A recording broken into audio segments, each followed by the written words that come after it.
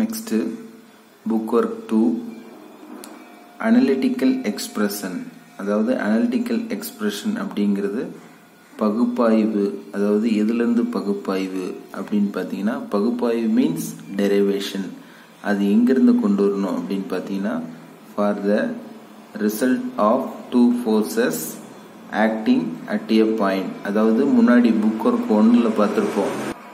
அதே மாதிரி தான் நமக்கு ஒரு பாயிண்ட்லேருந்து ரெண்டு ஃபோர்ஸ் ஆக்ட் ஆகி நமக்கு அதில் பேரலோகிராம் லா அந்த மாதிரி ஒரு டயக்ராம் வந்து கிரியேட் பண்ணிக்கணும். ஃபஸ்ட்டு இப்போ அந்த டயக்ராம் அதாவது ஒரு பாயிண்ட்லேருந்து டூ ஃபோர்ஸஸ் ஆக்டிங் ஆகுது. இந்த ஃபோர்ஸஸில் ஆக்டிங் ஆகும்போது நமக்கு கிடைக்கக்கூடிய டயக்னல் அதாவது ரிசல்டன்ட் ஆஃப் ஃபோர்ஸ் ஆர் அப்படின்னு நம்ம வந்து டெரிவேஷன் அதாவது அனலிட்டிக்கல் எக்ஸ்பிரஷன் கண்டுபிடிக்கணும். அதுக்கு வந்து நம்ம இப்போ ப்ரொசீஜர் எழுதணும். ஃபஸ்ட்டு லெட் டூ ஃபோர்ஸஸ் அதாவது பார்த்தீங்கன்னா P and Q let two forces P and Q acting at a point A ஏலேருந்து நமக்கு ஃபோர்ஸ் ஆகுது. பி ரெப்ரசன்டேடு பை நமக்கு கிடைக்கக்கூடிய வேல்யூ பார்த்தீங்கன்னா ஏ பி அண்டு ஏடி இங்கே இருக்கும். அண்டு லெட் ஆங்கிள் பிட்வீன் அதாவது நமக்கு இந்த ஆங்கிள் அதாவது இந்த ஆங்கிள் பார்த்தீங்கன்னா ஆல்ஃபா அப்படின்னு கிடைக்குது. அப்போ தட் இஸ் ஆங்கிள் பிஏடி அப்படின்னு எழுதிக்கிறோம். என்னன்னு பார்த்தீங்கன்னா alpha next compare the parallelogram B அதாவது B A D then the diagonal A C represented by result resultant let R அதாவது இதுக்கு நம்ம ஆர்னு பேர் கொடுத்துக்கிறோம். Be the magnitude of the resultant and let the make it angle phi அதாவது பார்த்தீங்கன்னா நமக்கு இந்த இடத்துல வந்து ஒரு டைகனல் ஆர் ரிசல்டன்ட் அப்படின்னு ஒன்று நமக்கு கிடைக்குது. இதுக்கு ஒரு ஆங்கிள் கிரியேட் ஆகுது. அதுக்கு தான் பார்த்தீங்கன்னா பை அப்போ நம்ம ஆங்கிள் எப்படி எழுதலாம் அப்படின்னு பார்த்தீங்கன்னா that is angle C A B phi next next இப்போ இந்த டயக்ராமில் பார்த்தீங்கன்னா ஏபி இதுக்கு வந்து பேரலாக இருக்கிறது டிசி ஏடி இதுக்கு பேரலாக இருக்கிறது பிசி அப்போ ஏபிக்கு எந்த லைன் பர்பண்டிகுலராக இருக்குது அப்படின்னு பார்த்தீங்கன்னா எதுவுமே கிடையாது. அப்போ நம்ம என்ன பண்ணோம்னா ரைட் ஆங்கிள் கிரியேட் பண்ணி தான் நமக்கு பர்பண்டிகுலராக பண்ணணும். அப்போ ஃபஸ்ட்டு என்ன எழுதுறீங்கன்னா ட்ரா சி அதாவது பார்த்தீங்கன்னா இந்த ஏ பிக்கு வந்து பார்த்தீங்கன்னா பர்பண்டிகுலர் அப்படிங்கும்போது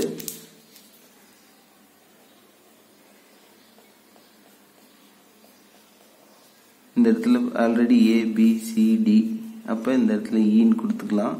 அப்போ இந்த ஆங்கிளும் ஆல்ஃபா தான் வரும். ஓகேங்களா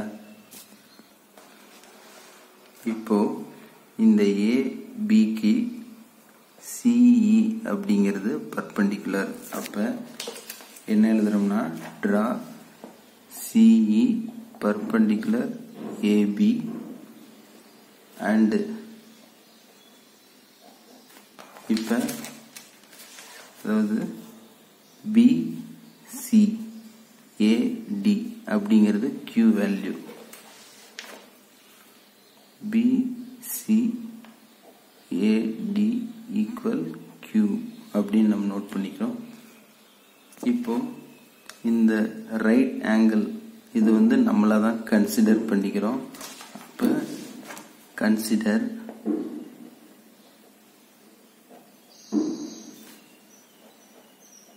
the right angle.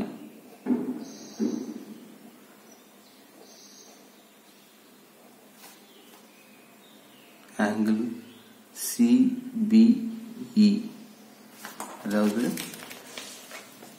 CBE e. இதுதான் ரைட் ஆங்கிள் இப்போ என்ன கண்டுபிடிக்கணும் அப்படின்னு பார்த்தீங்கன்னா இந்த ரைட் ஆங்கிளுக்கு ஆல்ஃபா வேல்யூ கண்டுபிடிக்கணும். அப்போ ஆல்ஃபா வேல்யூக்கு சைன் காஸ் இந்த ரைட் ஆங்கிளுக்கு அடுத்தது பார்த்தீங்கன்னா இந்த ரைட் ஆங்கிளுக்கு பார்த்தீங்கன்னா பை இருக்கு. அப்போ பைக்கு வந்து டேன் அப்போ ஆல்ஃபா வந்து சைன் காஸ் இந்த பையோட வேல்யூக்கு டென் இதை நம்ம கண்டுபிடிக்கணும். இப்போ. இப்போ முன்னாடி பார்த்துருப்போம். அதாவது ரைட் ஆங்கிள் சின்ன ரைட் ஆங்கிள் எந்த ரைட் ஆங்கிள்னா சி பிஇ இதுக்கு வேல்யூ பார்த்தீங்கன்னா ஆல்ஃபா இப்போ இதுக்கு என்னென்ன இந்த சின்ன ரைட் ஆங்கிளுக்கு பார்த்தீங்கன்னா சைன் ஆல்ஃபா இப்போ சைன் ஆல்ஃபாவுக்கு என்ன formula opposite divide by hypotenuse அப்போ ஆப்போசிட் அப்படிங்கிறது சிஇ ஹைப்போட்டனஸ் அப்படிங்கிறது பிசி நெக்ஸ்ட்டு இப்போ இந்த பிசிங்கிறது மேலே போயிடுச்சுன்னா BC sine alpha equal CE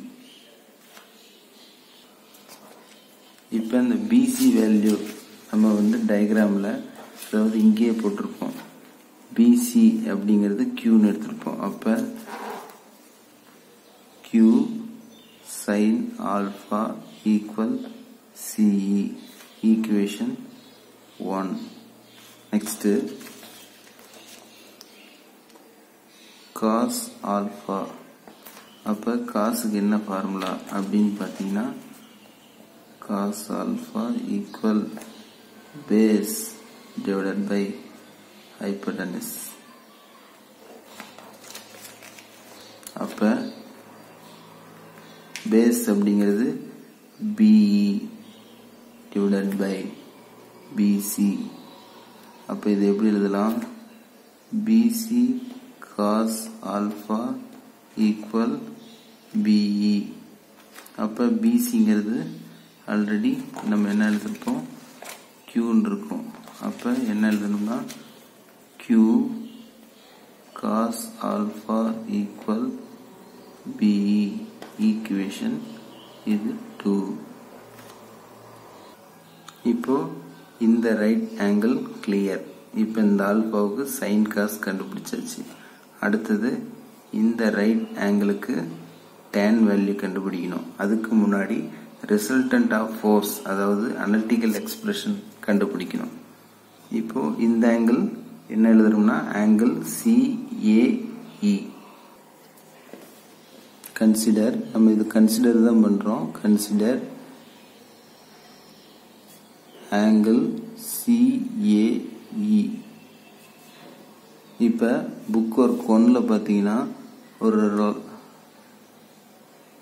last result ஒன்று இருக்கும்.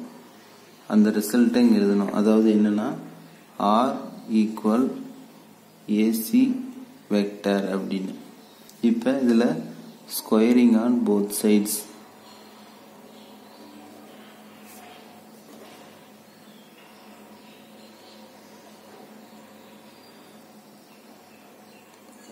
அப்போ என்ன கிடைக்கும்? R square equal AC square அப்போ இந்த ஏசி அப்படிங்கிறத நம்ம எப்படி எழுதலாம்னா இந்த ஏசி அப்படிங்கிறத எதை வச்சு எழுதலாம்னா இந்த ஏசியை ஏஇ நெக்ஸ்ட்டு சிஇ இது ரெண்டையும் ஆட் பண்ணாதான் ஏசியோட ஈக்குவல் வேல்யூ அப்போ என்ன எழுதுறோம்னா?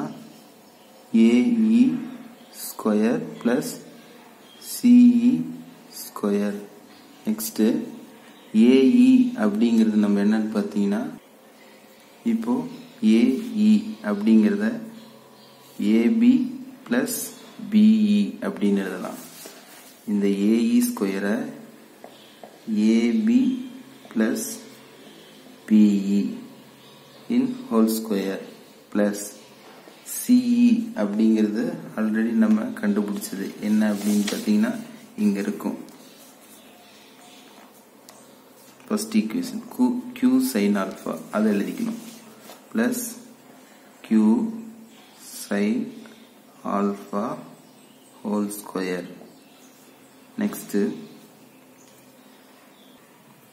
இந்த ஏபிக்கு என்ன எழுதுறோம்னா ஏபி அப்படிங்கிறது பி நோட் பண்ணியிருப்போம். அந்த பாயிண்ட் எழுதணும். அப்போ ஏபிக்கு பி ப்ளஸ் பிங்கிறது ஈக்குவேஷன் ஒன் அதாவது இந்த புக் ஒர்க்கில் ஈக்குவேஷன் ஒன் என்னன்னா கியூ காஸ் ஆல்ஃபா அப்படின்ற ஹோல் ஸ்கொயர் ப்ளஸ் இதை மல்டிபிள் பண்ணிங்கன்னா Q square sine square alpha next இந்த ஸ்டெப் பார்த்தீங்கன்னா A plus B whole square அந்த ஃபார்மேட்டில் இருக்குது அப்போ A square plus B square plus two AB அப்படின்னு பார்த்துருப்போம். அப்போ இது வந்து எப்படி எழுதலைன்னா P square plus two P Q cos alpha plus Q square cos square alpha அதுக்கப்புறம் plus Q square sine square alpha next P square plus two P Q cos alpha plus Q square cos அதாவது இந்த Q square ரெண்டுலேயும் காமனாக இருக்குது அப்போ காமனாக எடுத்தீங்கன்னா cos square alpha plus sine square alpha next இந்த டேர்ம் பார்த்தீங்கன்னா ஆல்ரெடி ஒன்று நம்ம வந்து ஒரு ரிசல்ட் இருக்கும். அப்போ P square plus two P Q cos alpha plus Q square இது வந்து ஆர் ஸ்கொயரோட டேர்மு நெக்ஸ்ட்டு இது. என்ன பண்ணுறோம்னா இந்த ஆர் ஸ்கொயர் அதாவது இந்த ஸ்கொயர் அந்த சைடு கொண்டு போனீங்கன்னா R equal root of P square plus two P Q cos alpha அப்படின்னு கிடைக்கும். நெக்ஸ்ட்டு ப்ளஸ் க்யூ ஸ்கொயர் இதை எப்படி எழுதலாம்? நம்ம மறுபடியும் again R equal root of P square plus Q square plus two P Q cos alpha இதுதான் resultant of force next என்ன பண்ணுறோம்னா இது ஈக்குவேஷன் த்ரீ இப்போ முன்னாடி வந்து பார்த்தீங்கன்னா சின்ன ரைட் ஆங்கிளுக்கு சைன் காஸ் கண்டுபிடிச்சிருப்போம். இந்த ரைட் ஆங்கிளுக்கு இன்னும் டேன் கண்டுபிடிக்கணும். அப்போ வந்து என்ன லாஸ்ட்டாக அதாவது டயக்ராம் எப்படின்னா மொதல் பார்த்தீங்கன்னா சின்ன ரைட் ஆங்கிள் இந்த ரைட் ஆங்கிள் இல்லை சி பிஇன்னு e பார்த்துருப்போம். இன்னொரு ரைட் ஆங்கிள் என்னன்னு பார்த்தீங்கன்னா சிஏஇ e. அப்போ இந்த ரைட் இந்த இட வேல்யூ பை இதோட வேல்யூ ஆல்ஃபா அப்போ பை வேல்யூ கண்டுபிடிக்கணும் அப்படின்னா டேன் பை ஈக்குவல் அதாவது இதுக்கு என்ன ஃபார்முலா அப்படின்னு பார்த்தீங்கன்னா ஆப்போசிட் டிவைடட் பை பேஸ் அப்போ CE divided by AE CE divided by இந்த ஏஇ அப்படிங்கிறது ஆல்ரெடி ஏபி ப்ளஸ் பிஇ அப்படின்னு எழுதலாம். நெக்ஸ்ட்டு இப்போ இந்த சிஇ அப்படிங்கிறது நம்ம ஆல்ரெடி முன்னாடி கண்டுபிடிச்சிருப்போம். அது என்னன்னு பார்த்தீங்கன்னா Q sine alpha divided by ஏபிங்கிறது P value பிஇங்கிறது Q cos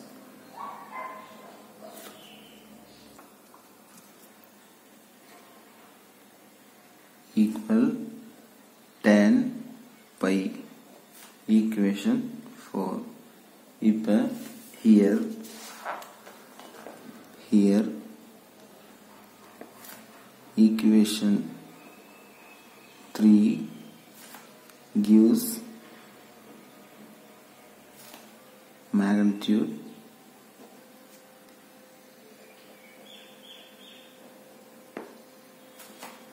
and 4 gives direction